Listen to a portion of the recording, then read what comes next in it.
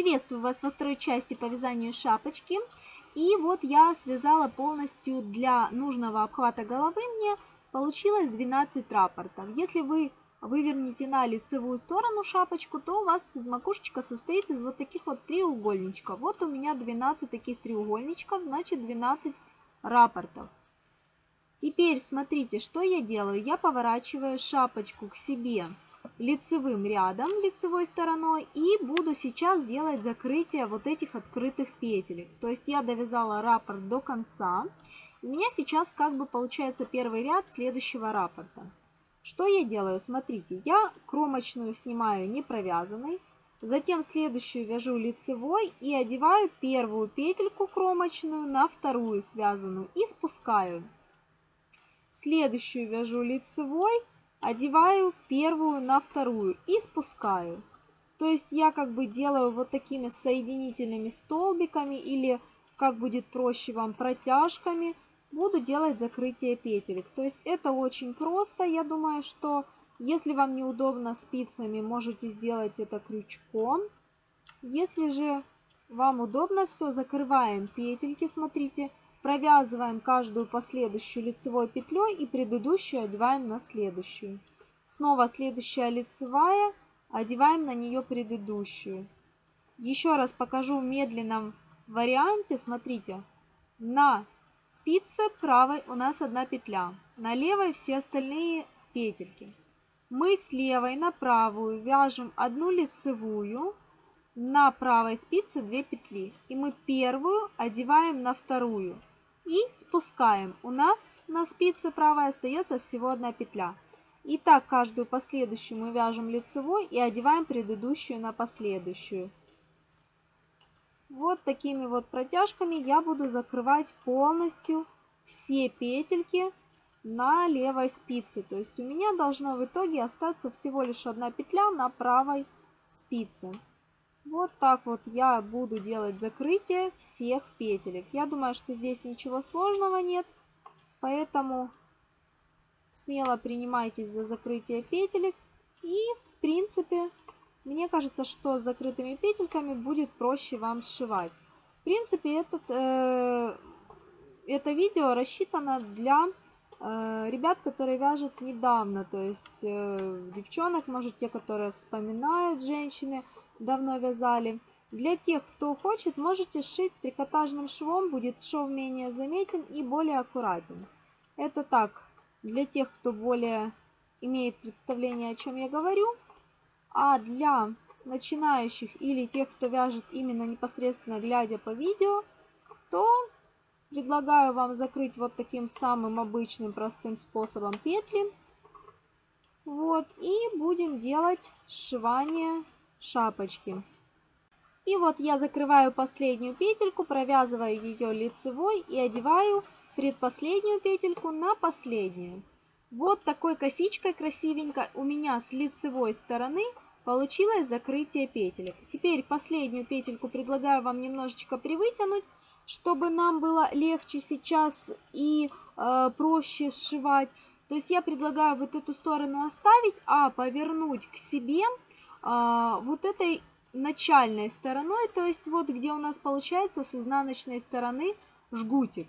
То есть это как бы лицевая сторона шапочки, мы должны сшить э, жгутик с лицевой стороны, для того, чтобы когда мы сделаем отворотик, шов был с внутренней стороны. Вот, поэтому я предлагаю вам уже распустить вот эту ниточку, которую мы оставляли для сшивания. И ей мы будем делать сшивание начальных вот этих сантиметров, там, где расположен жгутик. Я буду делать закрытие петель где-то приблизительно 5 сантиметров. У меня получается вот этот жгутик плюс э, кромочная, плюс здесь небольшой запасик, где-то 5 сантиметров. Вот я 5 сантиметров буду закрывать. Смотрите, что я делаю. Я натягиваю вот эту ниточку, которую хвостик мы оставляли, как рабочую нить основную на пальчике. Затем крючком ввожу крайнюю самую петельку, нахожу, получается с нижней стороны. Затем в стеночку ввожу крючок с верхней стороны, захватываю рабочую ниточку и делаю как бы такой вот соединительный столбик или просто закрепительный столбик. То есть просто продела петельку и закрепила воздушной петлей. Теперь у нас с одной стороны косичка вот такая замечательная и с другой стороны косичка. Вот нам нужно за обе стеночки с одной стороны ввести крючок. Я буду называть нижняя стеночка и верхняя. Вот она с нижней стороны за обе стенки косички. И с верхней стороны находим начальную петлю и продеваем, захватываем рабочую ниточку. На крючке у нас две петли. И делаем то же самое, что мы делали только что спицами. Через первую продеваем вторую. То же самое абсолютно мы только что делали закрытие петелек, только я делаю это крючком. Смотрите, в следующую петлю ввожу крючок за обе стеночки косички. И во вторую, в дальнюю стеночку верхнюю ввожу крючок, захватывая рабочую ниточку, протягивая сквозь эти петельки и одеваю первую на вторую. Вот так вот спускаю. Опять ввожу крючок в одну стеночку, во вторую стеночку, захватываю рабочую ниточку и делаю соединительный столбик. Для кого так проще, просто делаю за обе стеночки, сшиваю соединительными столбиками. Либо протяжками. Как вам удобно считать, так и, э, в общем, называйте. Смотрите, вводим в одну стеночку, во вторую стеночку. Я плотно держу обе стеночки э, к себе, чтобы мне было удобно сразу вводить крючок за две стороны. Захватываю рабочую ниточку продеваю сквозь обе стороны и делаю вот такую вот протяжечку соединения. Снова вдеваю в обе стороны крючок, захватываю рабочую ниточку и петлю уже с рабочей ниточки продеваю сквозь петлю на крючке. То есть вот такие соединительные столбики или протяжечки я буду делать соединение 5 сантиметров. То есть от начала сшивания 5 сантиметров. Перед тем, как э, закрепить вот эту вот ниточку после сшивания 5 сантиметров, я вам предлагаю проверить свою работу. То есть как это? Мы сейчас вот сшили верхушечку, или будем так считать отворот, и нам нужно закрепить ниточку. Перед тем, как мы закрепим ниточку, мы должны проверить свою работу. Мы выворачиваем на лицевую сторону жгутик и смотрим, как у нас смотрится, красиво или нет. Смотрите, можно оставить, чтобы был вот такой вот шовчик. То есть благодаря тому, что у нас идет э, платочная вязка, вот они изнаночные, мы, получается, за одну стеночку э, сшиваем, вторая часть стеночки остается вот такой вот рубчик. Хотите, можете еще более глубже вдевать крючок, чтобы совсем здесь такая гладкая сторона была. Я буду делать так, чтобы оставался рубчик, так как он у меня как бы дополняет такую вот общую картину э, вертикальных полосочек. Хотите, можете полностью вот так вот будет вид иметь сшивание. В принципе, здесь на шапке э, несоответствие вот этой вот э, косы или несоответствие жгута не сильно принципиально, так как это сзади. Ну, то есть э, абсолютно ничего страшного, если у вас пошло несовпадение вот этого рисунка. Как по мне, это такой рисунок очень простой, поэтому здесь не обязательно прям идеально, чтобы он совпал. Это не кофта и это не какой-то там супер-пуперский шарф смут, хомут и так далее. То есть для шапочки на каждый день, в принципе, очень даже хорошо. И продолжаем. Если вам понравилась ваша лицевая сторона, мы продолжаем до сшиваем 5 сантиметров, о которых я вам говорила. И теперь мы, получается, должны немножечко эту ниточку снова привытянуть. То есть как в начале, так и в конце. Итак, вот что у меня получилось после сшивания. Изнаночная моя полосочка, вот она осталась как на мой взгляд, получилось в принципе аккуратненько. И главное, обратите внимание, чтобы стык верхушечки у вас был не вот таким вот образом скоса э, сверху вниз, а максимально ровненько. То есть вот это самое основное, потому что при отвороте шапочки будет очень сильно видно, если искажен шовчик. Поэтому, если у вас здесь что-то искажено, распустите и в начале найдите максимально крайние петельки обоих сторон. Теперь что мы делаем? Это у нас лицевая сторона. Мы должны шить вот этот шов оставшийся на изнаночной стороне, так как это у нас верхушечка и поверхность шапочки. Мы берем, выворачиваем на изнаночную сторону а, вот эту рабочую ниточку. То есть моточек продеваем через отверстие и выводим на поверхность с изнаночной стороны. В проделе вот он у меня моточек, и я выворачиваю на изнаночную сторону, чтобы мне проще было сшивать. Теперь смотрите, у нас ниточка немножечко не достает до макушки, то есть до э, начала, где мы должны сшивать. Поэтому я предлагаю соединительными столбиками дойти до серединки. Смотрите, как можно понять, где серединка. Мы сворачиваем шапочку, теперь у нас начало сшито. И мы вот так вот плотненько прижимая все стеночки до самой макушки, смотрим, вот она у нас серединка макушки. Вот, значит, мы должны до вот этой серединки доделать соединительные столбики. Смотрите, мы просто вдеваем петельку на крючок, одеваем обратно. И соединительными столбиками, вот так вот захватывая рабочую ниточку, переходим до серединки макушки. То есть вот так очень просто. Я думаю, что здесь я понятно все делаю. Просто перехожу к серединке, рабочую ниточку перевожу. Можно было бы, конечно, обрезать и присоединить, но, честно говоря, я такое не люблю. Я стараюсь, чтобы максимально у меня было все сдельно. И вот меряем, сколько еще мне нужно продеть ниточку. Ну, еще буквально на одну петельку. То есть вот я продеваю еще на одну петлю вперед. И вот она у меня начальная рабочая петля. Я беру теперь точно так же, как снизу, так и сверху.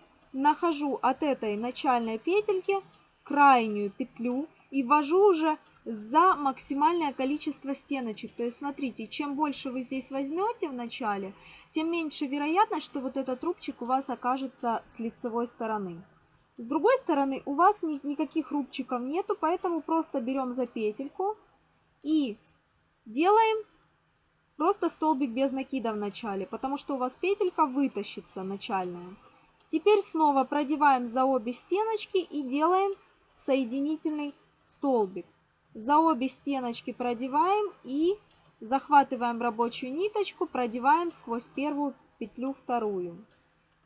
Вот таким точно так же, как мы делали в начале, только сейчас я вам предлагаю делать э, за переднюю стеночку максимально захватывать крючок, чтобы вот здесь не было никакого рубчика.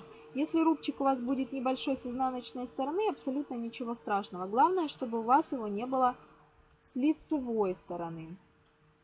И вот, смотрите, мы сейчас еще раз смотрим, приравниваем, чтобы шапочка была соединена хорошо.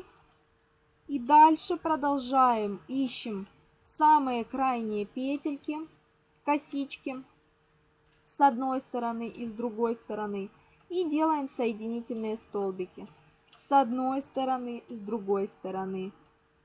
Захватываем рабочую ниточку и делаем соединительный столбик или протяжечку. Снова с одной стороны, с другой стороны, протяжка.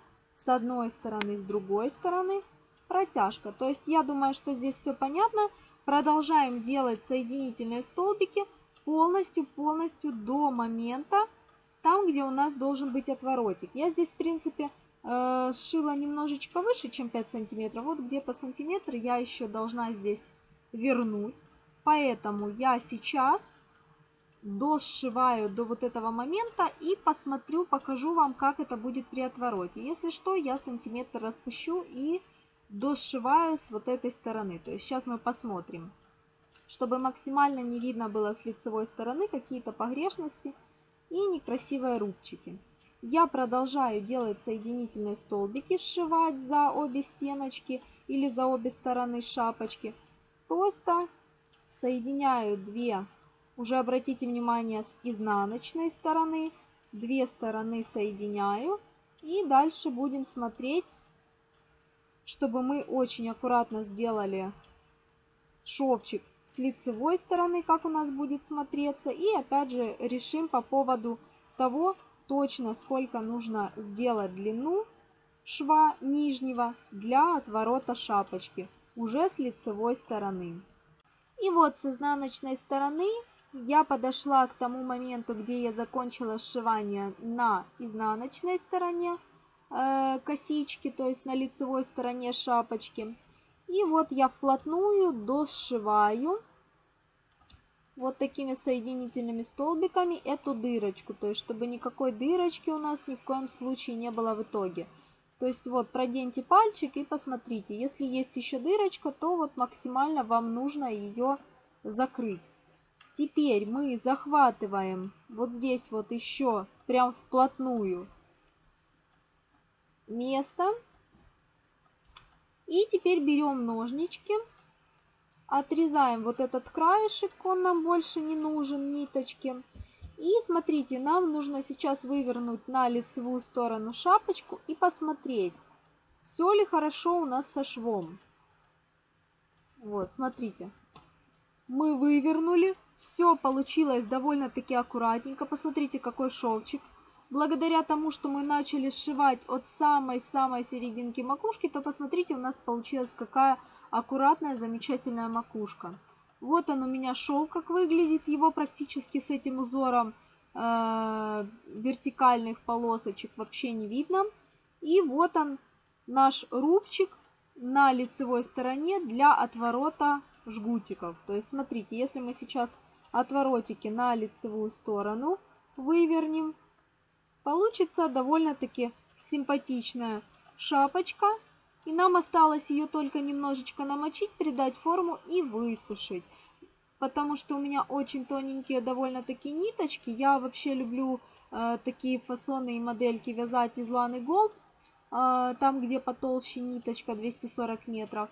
Здесь ниточка как в Fine е толщина, поэтому не сильно держит форму.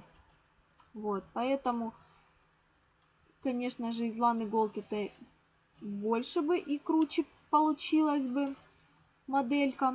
Вот. Но на самом деле, в принципе, довольно аккуратно. Благодаря тому, что мы сделали шовчик э, в серединке жгута, то есть вот так вот, на отвороте его не видно. И точно так же с изнаночной стороны, вот он наш шов. Он у меня получился довольно-таки мягенький, аккуратненький, несмотря на вид его грубости на камере, он довольно-таки нежный получился. Вот. И, в принципе, вам осталось только спрятать вот эти краешки ниточек, кончики. При наборе, при сшивании у нас оставались. Вот. Спрячем кончики и наша шапочка готова. Получилась вот такая красивая косичка или перехлесты жгутики, состоящие из двух видов лицевой глади и платочной вязки. И вот так, на мой взгляд, симпатично. Если взять пряжу более каких-то светлых тонов, то это будет очень красиво и очень даже э, шикарно смотреться в плане выглядеть как коса здесь. Конечно же, можно на свое усмотрение украсить, пришить какие-нибудь пайетки, бусинки, блесточки сделать, стразики и так далее. То есть это уже на ваше усмотрение. В принципе, для тех, кто хочет шапочку бини, чтобы у вас просто вместо э, вот этого а, начало было вот такая вот косичка, то есть вот она шапочка бини, высота наша. Вот. Можно сделать вот так. Единственное, вам нужно будет сшить от начала до конца полностью все на изнаночной стороне. Чтобы этого ничего не видно было. Вот так замечательно все получилось, на мой взгляд. Конечно же, не забывайте комментируйте, ставьте лайки. Обязательно подписывайтесь на мой канал, кому понравилось. Всем хорошего настроения. Пока-пока.